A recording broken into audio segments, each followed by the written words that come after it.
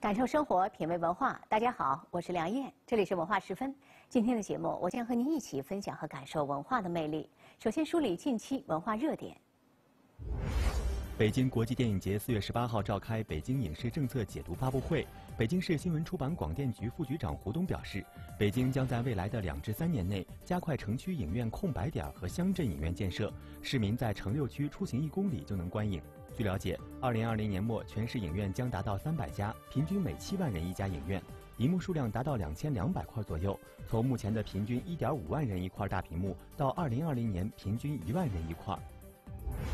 第八届北京国际电影节“注目未来”单元近日开幕。今年“注目未来”单元共有十六部影片入围展映，其中新导演的处女作共有十二部，包括国外十部和中国的两部，充分展示电影新人的艺术才华。此次参展影片的导演均为八零后和九零后，最年轻的导演拉华加年仅二十九岁。他的作品《旺扎的雨靴》讲述了藏区农家少年旺扎为了得到一双梦想中的雨靴所经历的故事。很荣幸就是能入围了这个未来单元，然后这个就是给我们的导演年轻的导演来说是个非常好的一个平台。正在举行的第八届北京国际电影节上，中国纪录片发展报告 （2018） 在纪录片单元发布。报告显示，二零一七年进入院线放映的中外纪录片九部，同比增长百分之五十，纪录片放映数量和票房均创新高。不过，记录电影市场仍存在产品定位、营销发行、产业链开发欠缺、缺乏成熟的院线发行放映机制等问题。二零一七年，互联网视频点击活跃的纪录片共计两千六百三十一部，有不少在社交平台引发热议，而即时短视频也正在成为新的创作力量。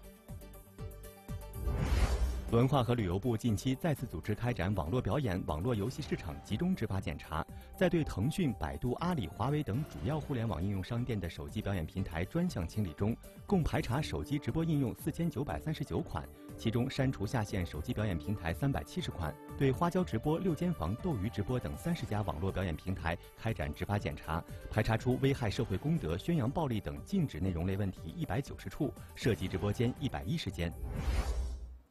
日前，《人民日报》海外版发表文章，以小说解密海外掀起热潮和卖家现象为例，讨论中国文学如何走向世界，让中国故事成为世界经典。作家麦家的小说《解密》为何会被英国权威媒体《每日电讯报》评为过去一百多年来最杰出的二十部间谍小说之一？什么样的中国故事更让世界着迷？来听麦家为我们解开他的创作密码。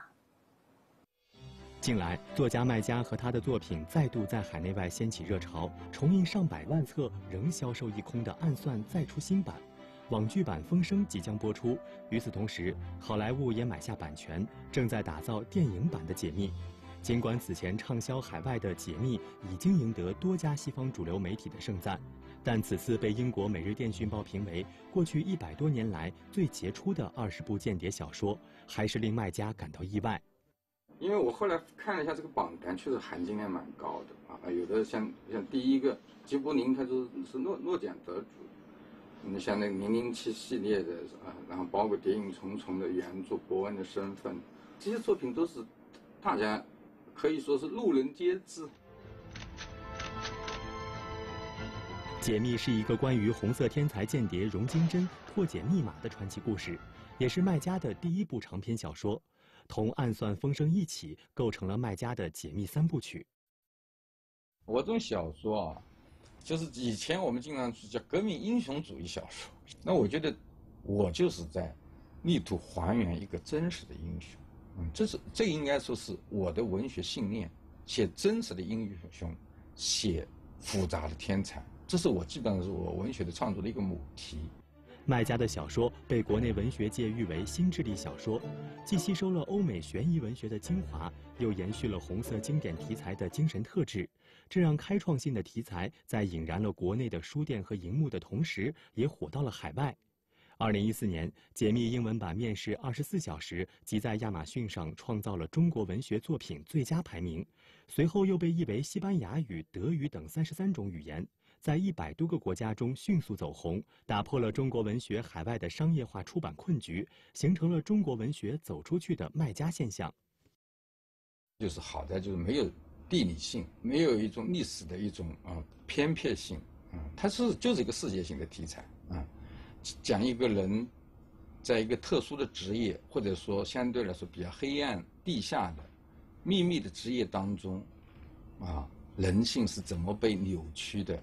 啊，人性又是怎么被张张扬的，啊，这个是我觉得它是整个人类的故事。麦家笔下的人物，往往一方面是天才，而另一方面性格或身体常常有各种缺陷，结局都不是那么美好。这肯定跟我内心有关系，跟我的童年经历有关系啊。就是我从内心来说，本身是一个悲观主义者。我经常说，一个人有两个故乡，一个是生你养你那个地方，一个就是你的童年。童年就是你的精神故乡。童年的内心啊，就像沙滩一样，潮湿、柔软、松啊，你轻轻一踩，一个印子就出来了。从小饱尝歧视和孤立，甚至与父亲一度决裂，这段童年的经历让麦家陷入彷徨。直到有一天，他遇到麦田里的守望者，受到启发，并开启自己的创作之路。那海明威曾经说过：“就心酸的童年是作家最好的训练。本来你童年是天真烂漫，但有一天突然，就是你的家庭突然天降大祸，或者说你突然生了一场大病，就是你和。”你的同龄人被隔离了，那这个时候就你提前把你的内心撕开来了！